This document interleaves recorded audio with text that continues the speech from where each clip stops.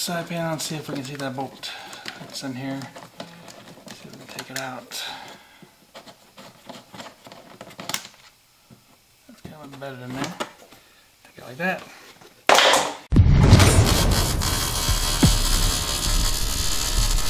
That's the other side's moving. Yeah, it is. Bolted on bolt. I'm gonna have to get something over there to take that off. Yeah. Another thing I like to do though is I like to jack this bike up higher. So I think I will see if I can switch out uh, one of the jacks on the other bikes.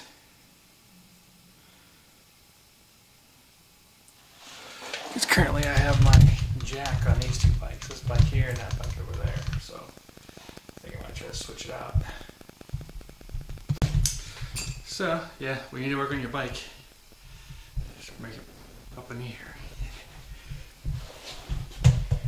It's up pretty high.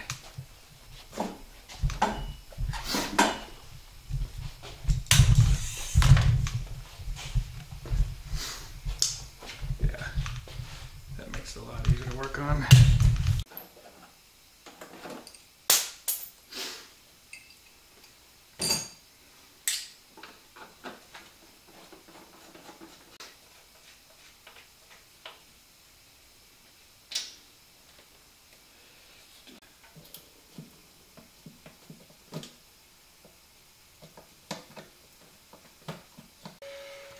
This to this.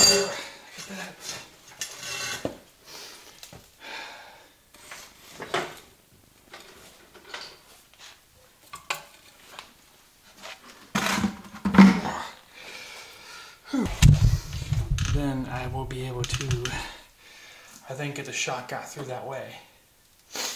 Leaving all the way off.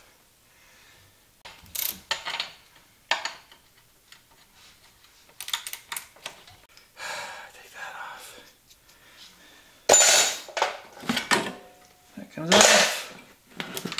Hopefully this thing should just come right through then.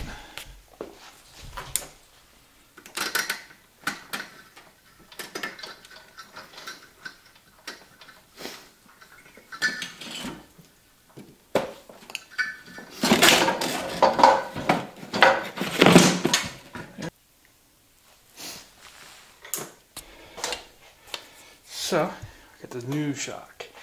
Brand new. Ah, refitted and everything. Perfect.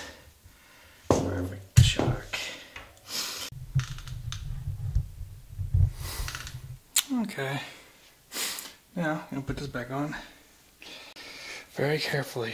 Aimed it upwards.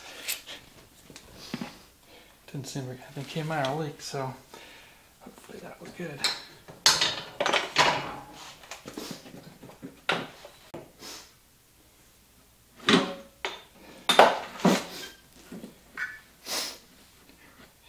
Very short.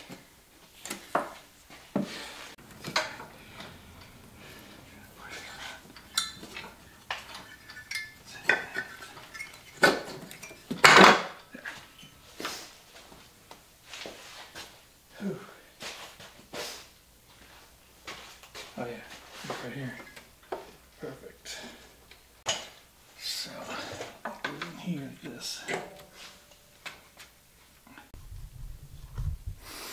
Yep, now I'll put it on the ah, bottom layer.